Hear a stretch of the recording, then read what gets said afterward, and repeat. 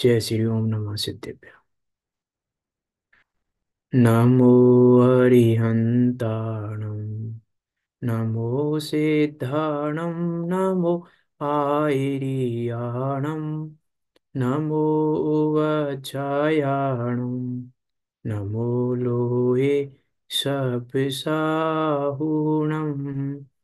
मङ्गलं भगवान् वीरो मङ्गलं गौतमो गणि मङ्गलं कुन्दकुन्दार्यो जैनधर्मोऽस्तु मङ्गलम् सर्वमङ्गलमाङ्गल्यं सर्वकल्याणकारकं प्रधानं सर्वधर्माणां जैनं जयतु शासिनं जैनं जयतु शासिनं तज्जयति परमज्योति समं समस्तेरिनन्तिपर्याय दर्पणतल इव सकला, प्रतिफलति पदार्थे मालिका यत्र परमागमस्य जीवं, निषेध्य जात्यन्तिसिन्धुर्विधानम् सकलिनैर्विलसितानां विरोधिमथिनमिनमाम्यनेकान्तम्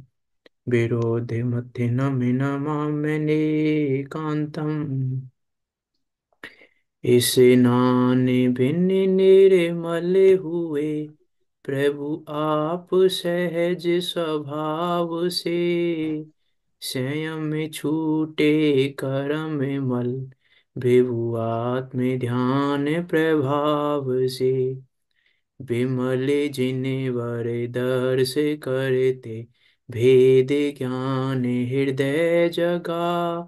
भ्रांति विघटी शांति प्रगटी, भाव अति निर्मल भया। भाव अति निर्मल भया।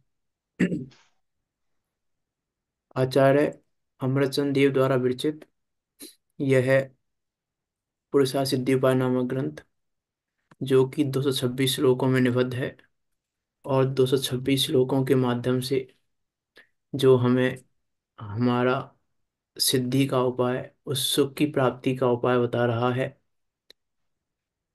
अध्यात्म और प्रवृत्ति का अनुपम संगम है। ऐसा ये अनुपम व अद्भुत ग्रंथ इस पर हमारी चर्चा चल रही है। आचार्य अमृतचंद देव यहाँ पर पुरुषा सिद्धि का उपाय और उस उपाय में लगने वाले जीवों की बात कर रहे हैं। कल हमने श्लोक नंबर पंद्रह में पुरुषा सिद्धि का उपाय देखा था कि पुरुषा सिद्धि का क्या उपाय है। कि पुरुषा सिद्धि का उपाय है रत्नात्रय रूप होना और रत्नात्रय रत्नात्रय रूप होने का उपाय है उस अभेद ज्ञायक को प्राप्त करना। अचलम ज्ञाय चैतन्यम प्राप्नोति। उस अचल चैतन्य स्वभाव को प्राप्त करना रत्नात्रय की प्राप्ति का कारण है और रत्नात्रय की प्राप्ति पुरुषा सिद्धि उपाय है और दूसरा कोई उपाय नहीं है। इस प्रकार की बात यहाँ पे की। अभी यहाँ कह रहे हैं, इस उपाय में कौन लगता है? इस उपाय में लगने वाले जीवों की बात है। कौन लगता है इस उपाय में? और इस उपाय में लगने वाले जीवों की दशा कैसी होती है? प्रवृत्ति कैसी होती है? अध्यात्म तो बता दिया। अध्यात्म तो ऐसा होता है। अब ऐसे अध्यात्म के साथ प्रवृत्ति कैसी होती है, वो बता रहे हैं। अध्यात्म तो बता दिया कि अध्यात्म तो क्या बता दिया कि वो अभेद ज्ञायक को प्राप्त करता है अभेद ज्ञायक को जानता है अभेद ज्ञायक की श्रद्धा करता है अभेद ज्ञायक में स्थिर होता है तो वह पुरुषा सिद्धि उपाय कर लेता है, ये तो अध्यात्म है। अब उस अध्यात्म पूर्वक प्रवृत्ति कैसी होती है उन जीवों की, जो ऐसे अध्यात्म को जानते हैं उनकी यहाँ बात कह रहे हैं। श्लोक नंबर सोलह में, उसके उत्थान का में क्या लिखा है? जो इस उपाय में लगते हैं, उनका वर्णन करते हैं। देखो क्या कह रहे हैं। अनुसरताम पद में तत् करम्बिताचार नित्य निरविमुखा, एकांत विरति रूपा भवति मुनि नाम लौकिकी व्रति क्या कह रहे हैं? अनुसरताम पदम एतत्। इस पद का अनुसरण करते हुए किस पद का? उस रत्नात्रय रूप पद का। जो ऊपर कहकर आए हैं, उस रत्नात्रय रूप पद का अनुसरण करते हुए, अर्थात जो इस रत्नात्रय रूप पदवी को जिन्होंने प्राप्त किया है जिन्होंने इस पदवी का अनुसरण किया है, जिन्होंने इस उपाय का अनुसरण किया है और जिन्होंने इस उपाय को प्राप्त किया है। इस पद का अनुसरण करते हुए क्या कह रहे हैं? करम विताचार नित्य निरभिमुखा, कौन मुनि नाम? कि मुनियों की वृत्ति वृत्ति कैसी होती है? करम विताचार नित्य निरभिमुखा। करमविद अर्थात पाप। पाप क्रिया मिश्रित आचार से नित्य सर्वथा निरभिमुखा। अभिमुख नहीं है उसके, निरभिमुख हैं, अर्थात परांग मुख हैं। तथा एकांत विरति रूपा पर द्रव्यों से सर्वथा उदासीन रूप और अलौकिकी भवती। अलौकिक होते हैं अर्थात उनकी वृत्ति यहाँ वृत्ति की बात कर रहे हैं, देखो प्रवृत्ति की बात कर रहे हैं, प्रवृत्ति कैसी होती है? तो प्रवृत्ति के तीन विशेषण दिए हैं यहाँ पर। अध्यात्म तो एक एक विशेषण दिया कि इस पद का अनुसरण करते हुए, इस अध्यात्म का अनुसरण करते हुए, प्रवृत्ति क्या है? कर्म विताचार नित्य निरभिमुखा पाप मिश्रित क्रियाओं पाप पाप क्रिया मिश्रित आचारों से सर्वथा रहित हैं और उनसे परांग मुख हैं।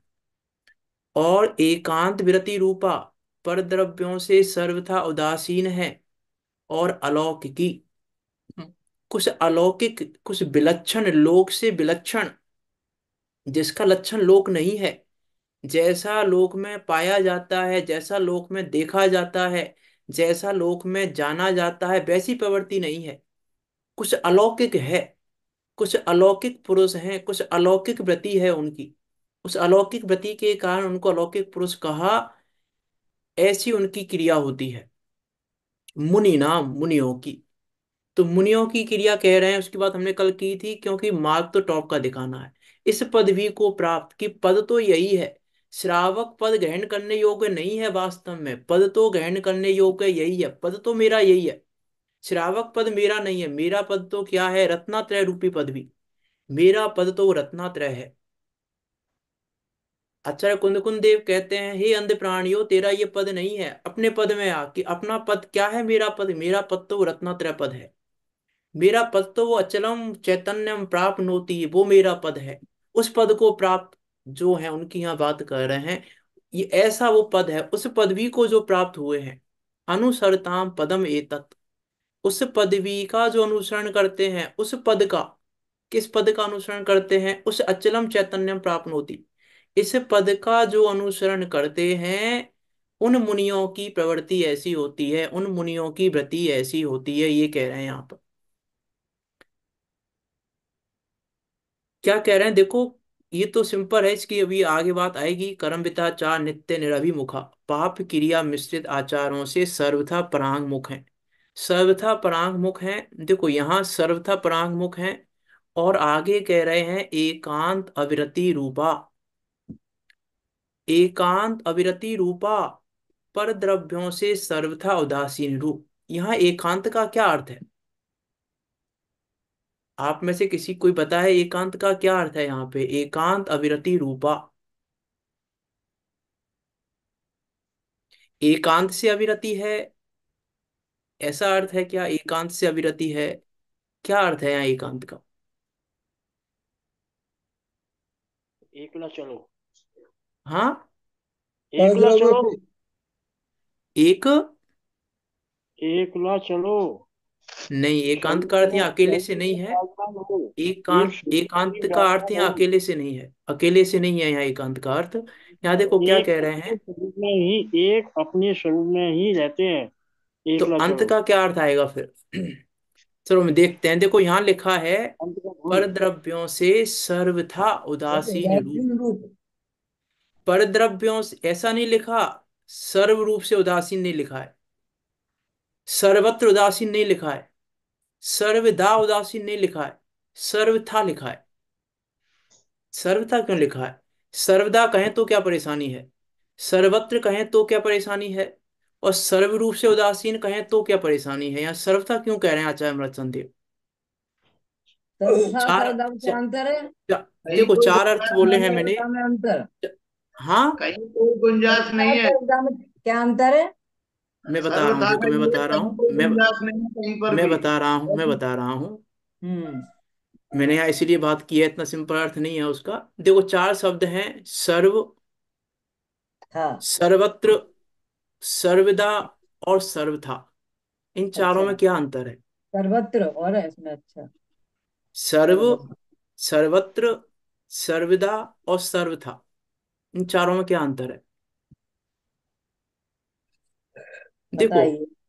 हम्म। सर्व है द्रव्य की अपेक्षा सर्वत्र है क्षेत्र की अपेक्षा अच्छा। सर्वदा है काल की अपेक्षा और सर्वथा है भाव की अपेक्षा। स चतुष्ट है चतुष्ट है इसमें। सर्व सर्वत्र सर्वदा और सर्वथा। यहाँ कह रहे हैं सर्वत्र एकांत यहाँ अंत यहाँ अंत यहाँ सर्वत्र छेद आएगा सर्वत्र में। सर्वत्र में सर्व सर्व जगह क्षेत्र की अपेक्षा आता है सर्वत्र शब्द। सर्वत्र शब्द आता है क्षेत्र की अपेक्षा कहा अच्छा जाता है सर्वत्र हर जगह। सर्वदा में सर्वदा? सर्वदा काल की अपेक्षा है सर्व हमेशा है सर्वदा शब्द आता है काल की अपेक्षा। सर्वदा। हाँ और सर्वथा का अर्थ है भाव। यहाँ एकांत का अर्थ बताना चाह रहा हूँ मैं तो एकांत अविरति रूपा एक को अंत रख के यहाँ कह रहे हैं अंत दीपक की बात कर रहे हैं हम। यहाँ कह रहे हैं कि सर्वथा की बात कर रहे हैं, अर्थात हम भाव की बात कर रहे हैं तो जहाँ हम भाव की बात कर रहे हैं, वहाँ तीन को तो समझ ही लेना, क्योंकि हम तीनों की बात नहीं कर रहे हैं, एक को अंत रख के बात कर रहे हैं, अंत दीपक की बात कर रहे हैं। जब हम भाव की बात करें, जब आचार्य कहें भाव से तो वहाँ समझना कि इन तीनों से भी कह रहे हैं, क्यों? क्योंकि वो अंत दीपक है। भाव अंत दीपक है, इसीलिए यहाँ कह रहे हैं, सर्वथा उदासीन रूप। अर्थात पर द्रव्य से उदासीन, पर क्षेत्र से उदासीन, पर काल से उदासीन और पर भाव से उदासीन। ये यहाँ एकांत अविरति का अर्थ है, इन चारों से उदासीन। इसलिए यहाँ लिखा सर्वथा। सर्वदा कहेंगे तो भी भाव अपेक्षा नहीं आएगा, तीन ही चीज़ आएँगी। सर्वदा, लेकिन इसलिए अंत दीपक है वो। सर्वथा वो स्वभाव अंत दीपक है।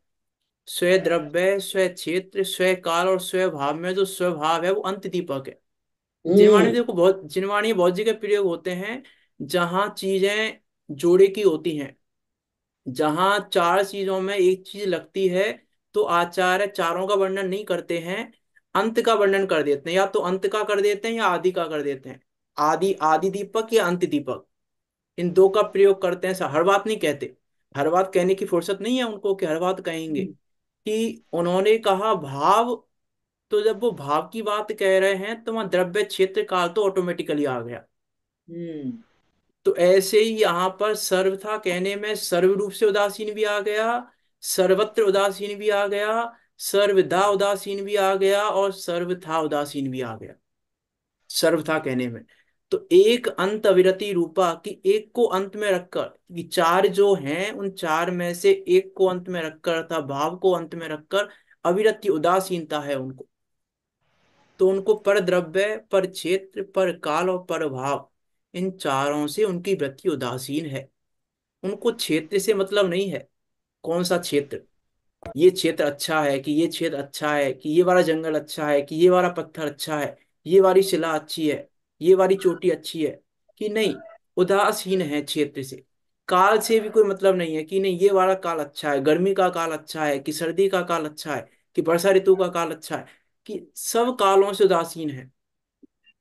कि नहीं, ये ये चक्रवर्ती ये अच्छा है, ये गरीब अच्छा नहीं है, कि नहीं पर द्रव्य से भी उदासीन है। उनको कोई फ़र्क नहीं पड़ता है कि चक्रवर्ती नमक बंधन चक्रवर्ती बंधन कह रहा है, कि गरीब बंधन कह रहा है, कि पापी बंधन कह रहा है, कि कौन बंधन कर रहा है, इससे उनको कोई मतलब नहीं है। उदासीन है उनकी वृत्ति सर्वथा एकांत अविरति रूपा। सर्वथा उदासीन रूप है और कुछ अलौकिक वृत्ति है। कुछ अलौकिक वृत्ति है, कुछ अलौकिक वृत्ति है, ऐसा वो पद है। ऐसी उस पदवी को वो प्राप्त हुए हैं, जिस पद की यहाँ बात कर रहे हैं, मुनि पद की, वो पद कुछ उत्कृष्ट है। वो पद कुछ अलौकिक है। उनकी वृत्ति यदि लौकिक वृत्ति जैसी दिख रही है तो समझना वास्तव में मुनि नहीं है, क्योंकि उनकी वृत्ति लोक की जैसी नहीं होती। उनकी वृत्ति जैसी लोक लोक में जैसी वृत्तियाँ पाई जाती हैं, वैसी वृत्ति उनकी नहीं होती, कुछ अलौकिक होती है। इसीलिए लिखा, भवती मुनि नाम अलौकिकी वृत्ति। मुनियों को अलौकिक वृत्ति होती है, लौकिक वृत्ति नहीं होती। कुछ विलक्षण होती है। अलौकिकी अर्थात लोक से विलक्षण प्रकार की होती है।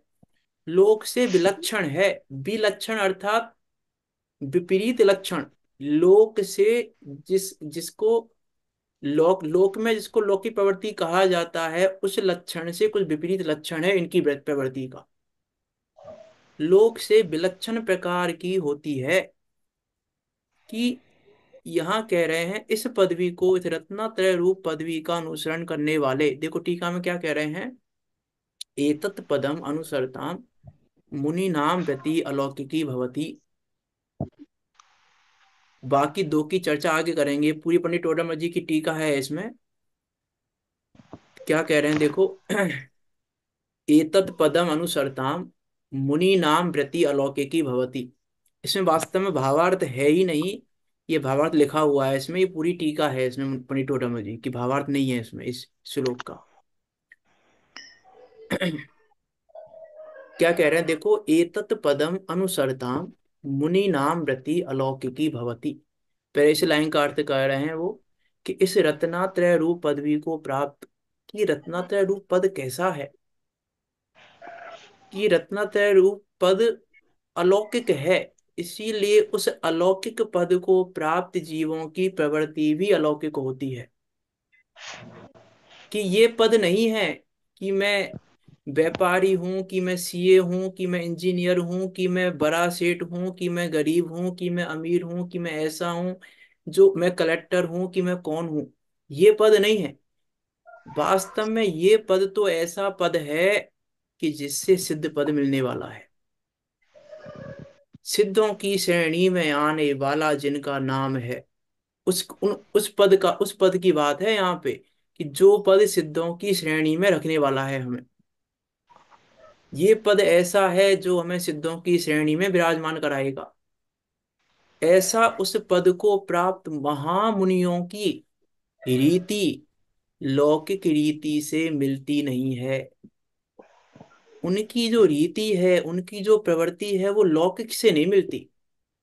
जैसी लौकिक प्रवृत्तियाँ होती हैं, उनसे नहीं मिलती। कुछ अद्भुत है, कुछ अलौकिक है। उस अलौकिक पने को बताना चाह रहे हैं पंडित टोडामल जी। दो प्रवृत्ति की चर्चा नहीं की है अभी। सीधा अलौकिक प्रवृत्ति पे आए हैं पंडित टोडामल जी। दो प्रवृत्ति की चर्चा बाद में करेंगे। पहले उनको मानो यही शब्द भाया हो, अलौकिक की वृत्ति अलौकिक वृत्ति है कुछ। कि लौकिक लौकिक जैसा कुछ भी नहीं है वहाँ पे। सब कुछ अलौकिक वृत्ति है। मीन्स यहाँ कह रहे हैं, उनकी वृत्ति लौकिक जैसी नहीं है, इसीलिए हम उनकी वृत्ति को लौकिक जैसी नहीं कराएँ। उनकी वृत्ति को जहाँ लौकिक कराने जाएँगे, वहीं परेशानी खड़ी हो जाएगी। और यदि वो अपनी प्रवृत्ति लौकिक जैसी करने लगे तो फिर वो इस पदवी पदवी धारा वो पदवी को प्राप्त नहीं है वो फिर। जो लौकिक प्रवृत्ति करने लगे हैं उनकी वो मुनि पदवी नहीं है। मुनि पदवी तो वो है जहाँ प्रवृत्ति अलौकिक होती है जहाँ प्रवृत्ति लौकिक जैसी नहीं होती। यहाँ तो उस पदवी की बात कर रहे हैं यहाँ तो उस मुनि पद की बात कर रहे हैं। यहाँ आचार्य उपाध्याय पद की बात नहीं कर रहे हैं यहाँ मुनि पद की बात कर रहे हैं। हम्म। वो मुनि पद कैसा है वो मुनि पद मीस मीस मुनि पद ऐसा है अलौकिक तो है ही। मुनिपद ऐसा है जिसको चार ज्ञान के धारी गणधर भी नमस्कार करें। वो पद है मुनिपद।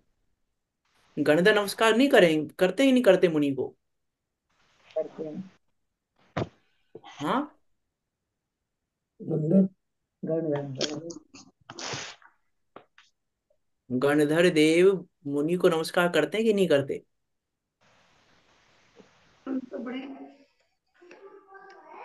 जब गणधर आचार्य हैं तो वे क्यों करेंगे? हैं? जब गणधर जब आचार्य हैं तो। जब आचार्य हैं और जब नमो लोय सप्साउनम बोलेंगे नमो नमोकार मंत्र बोलेंगे तो मुनियों का नमस्कार नहीं हो होगा? जब अपना बंधन हो जाएगा। कायदे में तो आचार कर सकते हैं मुनि को। अरे जब नमो सब श्रावणम बोलेंगे तो नमस्कार नहीं हो रहा है क्या इस पद को? मैं तो इस पद की बात कर रहा हूँ। इस पद को नमस्कार करते हैं उस पद की बात कह रहा हूँ मैं तो। तो हो रहा है। जब जब जब आचार्य सठ खंडागम लिख रहे हैं और मंगलाचरण में ले कह रहे हैं नमो सब श्रावणम तो इस पद को नमस्कार नहीं कर रहे? हो है।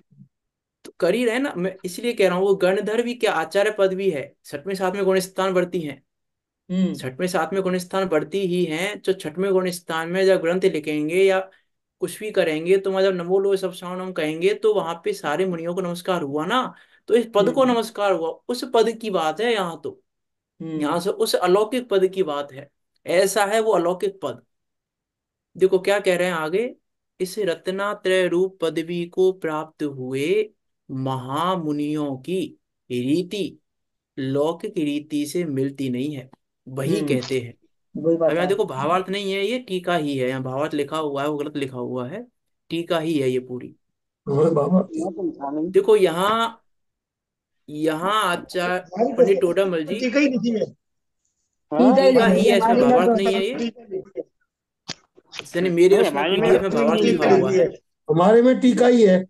हाँ मेरे में भावार्थ लिखा हुआ है ठीक है इसलिए वो टीका तीन लाइन की टीका क्या भावार्थ शब्द लिखा हुआ है। भावार्थ नहीं है वहाँ पे। तो यहाँ क्या क्या कह रहे हैं? देखो कि लौकिक रीति से मिलती नहीं है तो यहाँ पर कंपैरिजन कर रहे हैं पंडित टोडामल जी लौकिक रीति की और अलौकिक रीति की कि लौकिक हम्म। रीति कैसी है और अलौकिक रीति कैसी है। दोनों की कंपैरिजन बता रहे हैं कि लौकिक में क्या है और अलौकिक अलौकिक पना क्या है। वो कंपैरिजन करके बता रहे हैं। कंपैरिजन करके क्यों बता रहे हैं? कंपैरिजन करने का प्रयोजन क्या है? कि कंपैरिजन करने का प्रयोजन यह है कि भैया टॉप का माल तो ये अलौकिकपना ही है। ये अब दोनों मालों की कंपैरिजन दिखा रहे हैं कि एक माल तो ऐसा है और एक माल ऐसा है। माल तो यही है। वो प्योर माल तो यही है, इसलिए कंपैरिजन बता रहे हैं दोनों की, उस प्रवृत्ति की और इस प्रवृत्ति की। वही कहते हैं, क्या कह रहे हैं? लोक पाप क्रियाओं में आसक्त होकर प्रवर्तन करता है। जगत तो क्या करता है कि पाप क्रियाओं में आसक्ति है उसकी। लौकिक तो जगत में तो जीव क्या कर रहे हैं कि पाप क्रियाओं में आसक्त होकर परिवर्तन कर रहे हैं। आसक्ति है उनकी पाप क्रियाओं में। व्यापार करते हैं तो पाप क्रिया करते हैं, जो भी कार्य करते हैं उसमें पाप क्रिया करते हैं, जो भी कार्य करते हैं, उस प्रत्येक कार्य में उनकी पाप क्रिया है। पुण्य क्रिया में भी पाप क्रिया होती है। पुण्य क्रिया ही पाप क्रिया के बिना नहीं होती। इसलिए यहाँ पाप क्रिया कह रहे हैं, पाप क्रियाओं में आसक्त होकर कि पुण्य रूप क्रिया करेंगे तो उसमें भी जीव घात आदि तो होते ही हैं।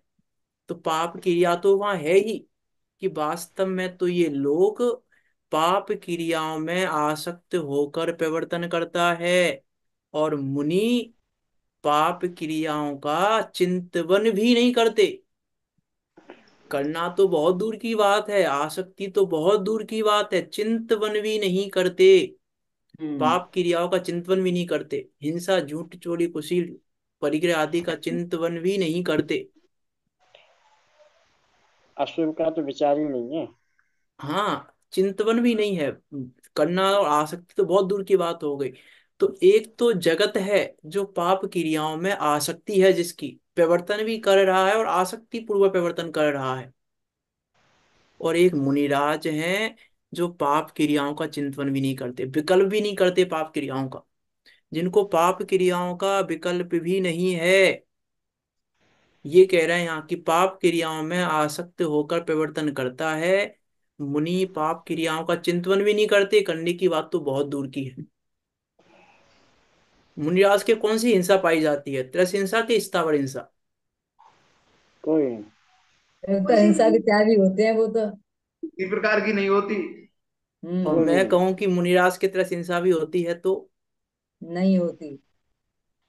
नहीं होती। बंद उनका बंद नहीं लगता। है? हाँ उनको नहीं लगता है आश्रय बंद नहीं लगता। है मुनिराज मुनिराज ये जान रहे हों कि यहाँ जीव हैं।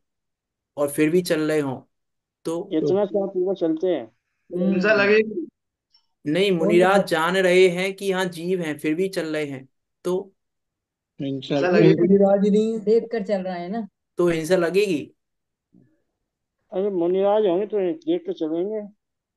वहाँ अरे जाएँगे ही देख कर तो चलेंगे देखने की बात नहीं कह रहा हूँ मैं। मैं ये कहना चाह रहा हूँ यहाँ पे यहाँ चरणान योग की हिंसा का त्याग है त्रस हिंसा का त्याग भी चरणान योग की त्रस हिंसा का त्याग है। इतना समझना मुनिराजों के तो त्रस हिंसा स्थावर हिंसा का त्याग कहा है? कहा है वो चरणान योग की हिंसा का त्याग है बस?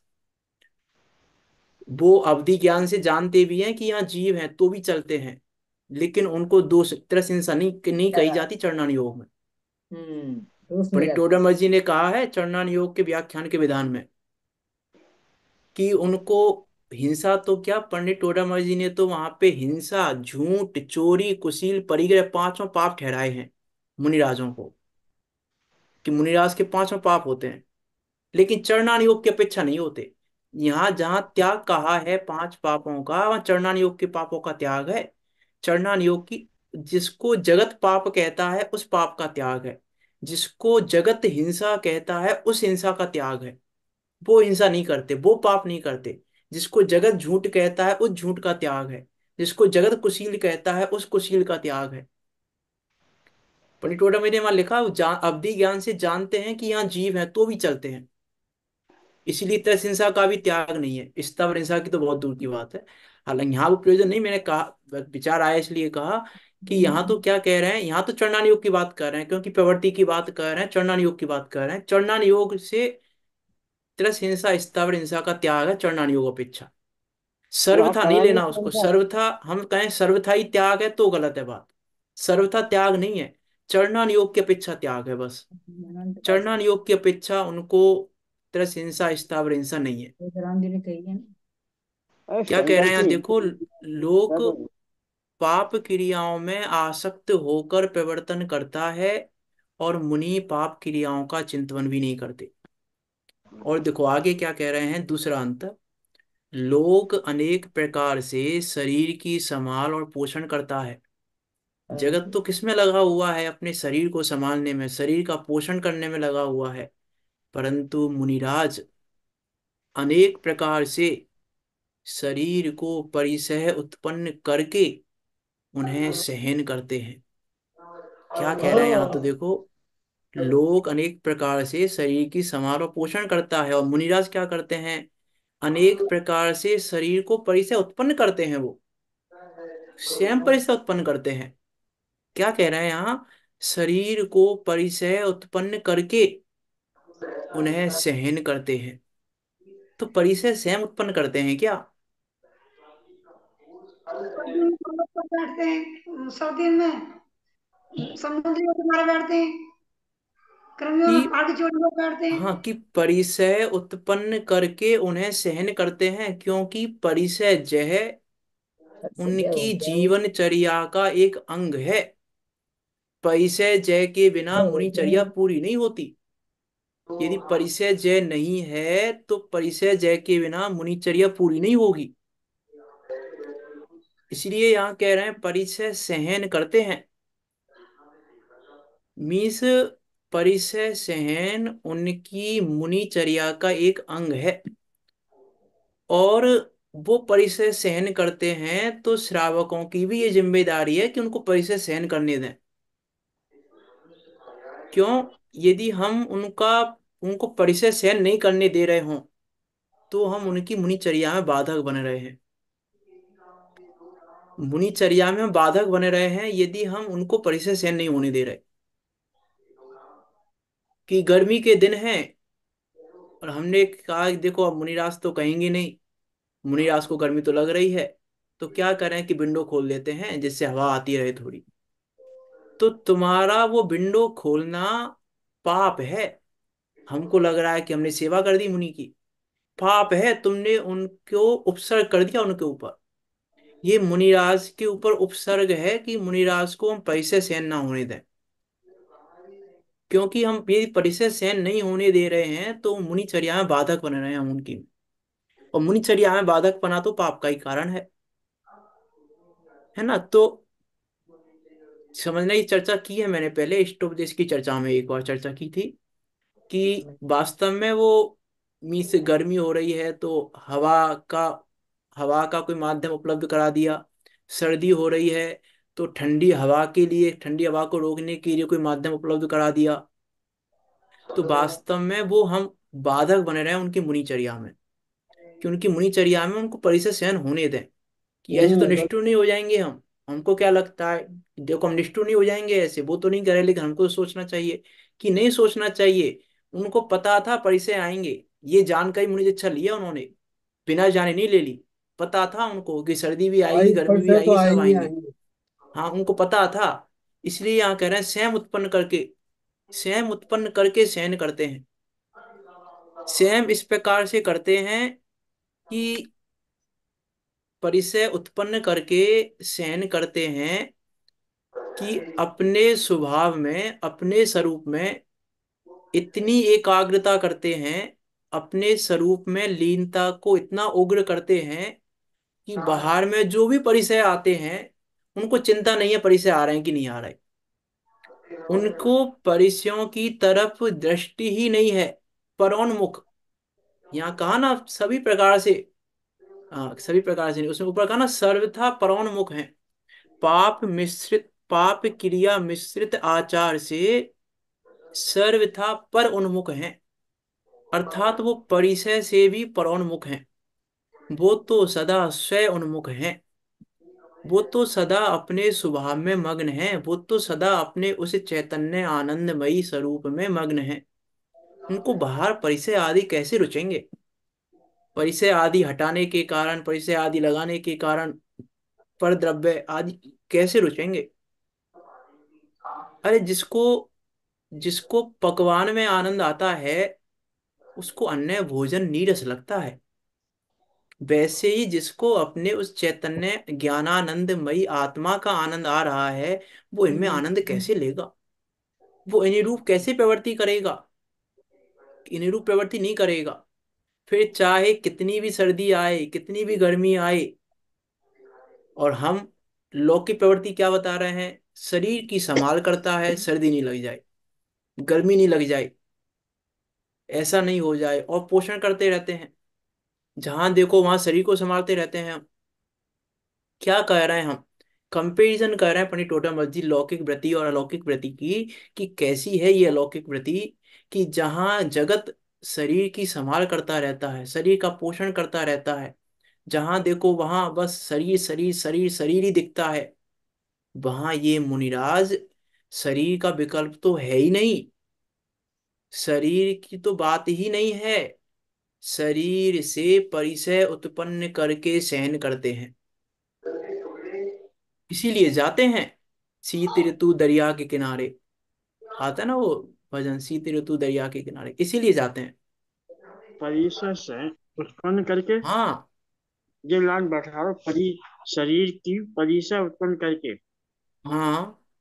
तो कैसे शरीर को परिसर उत्पन्न करेंगे बे अरे वो शीत ऋतु में दरिया के किनारे जा रहे हैं। उनको पता है परिसर उत्पन्न होगा उनको पता है यहाँ सर्दी होगी तो भी जा रहे हैं वो।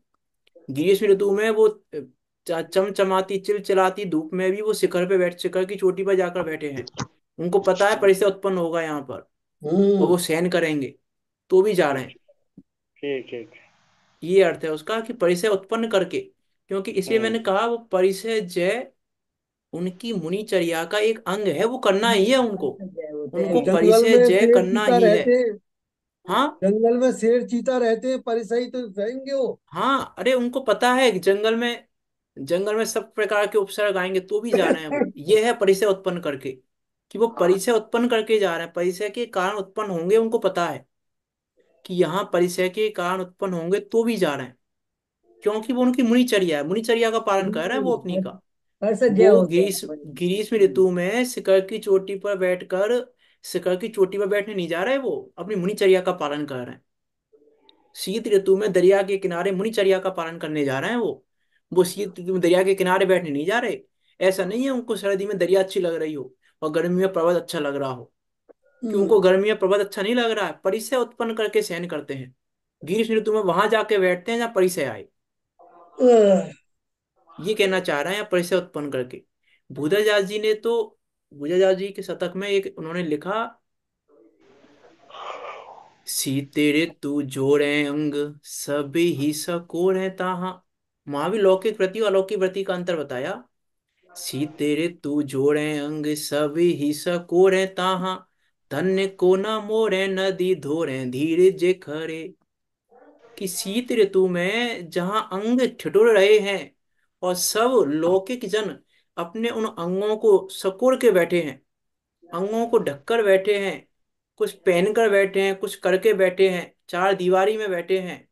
तन को ना मोरे, नदी धोरे, धीरे जे घरे और वो धीर, धीरवान, वो धीरवान महामुनिराज तन को सिकोड़ते नहीं है। ऐसा, ऐसे भी नहीं तन सिकोड़ रहे हो।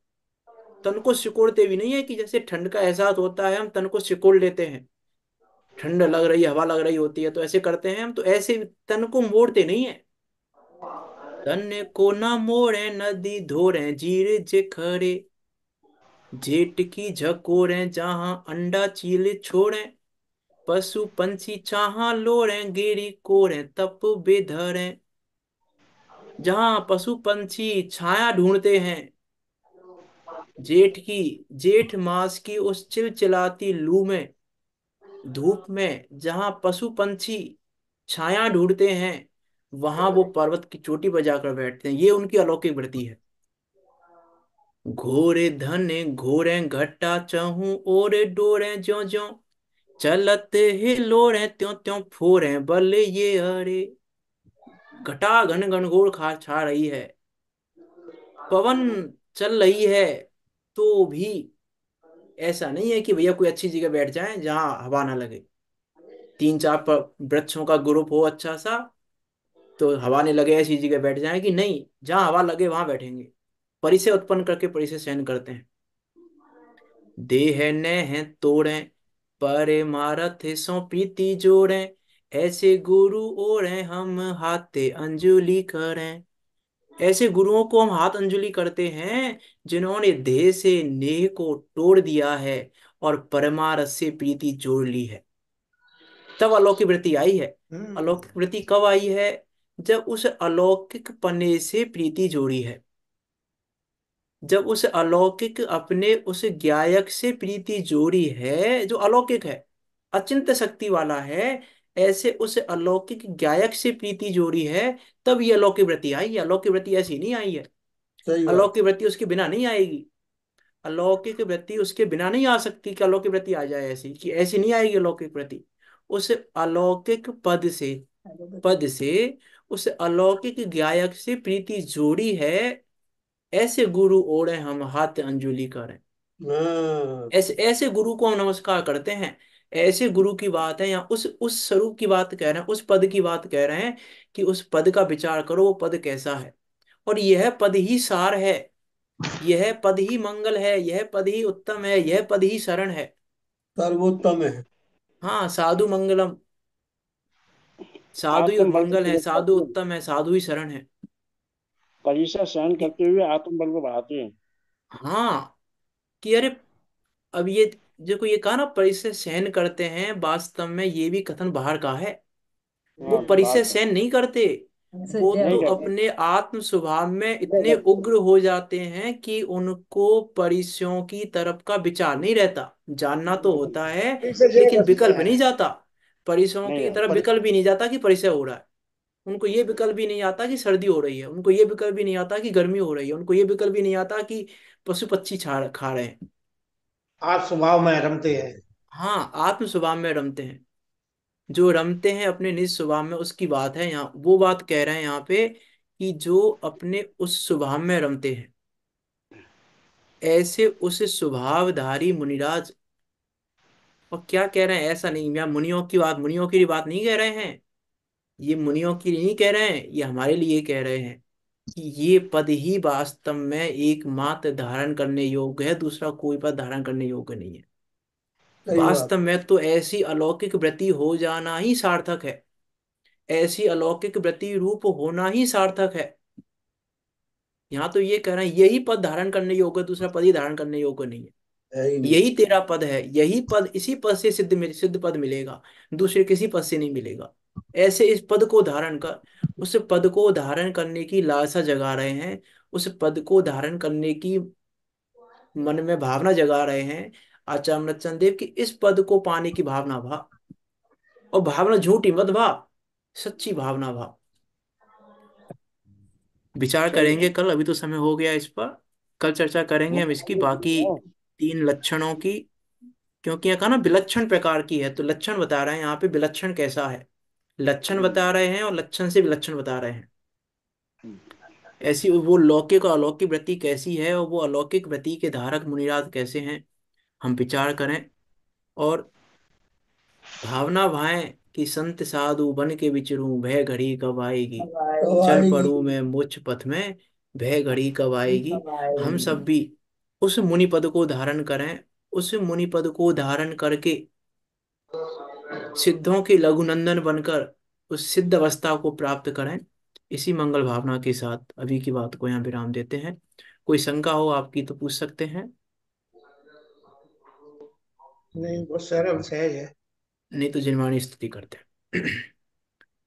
निज निधि निज में बताई। यह अनंत उपकार है उसके लिए जिन्हें वाणी माँ को बंदे बंदना सत्यवारे है।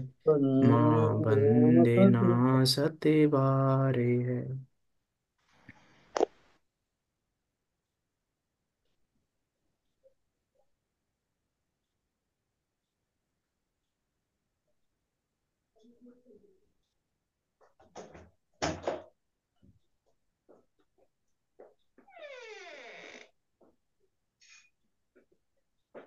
हरिदास संग मई जिनवाणी माता की जय महान जैन धर्म की जय। जय। आज के दिन ही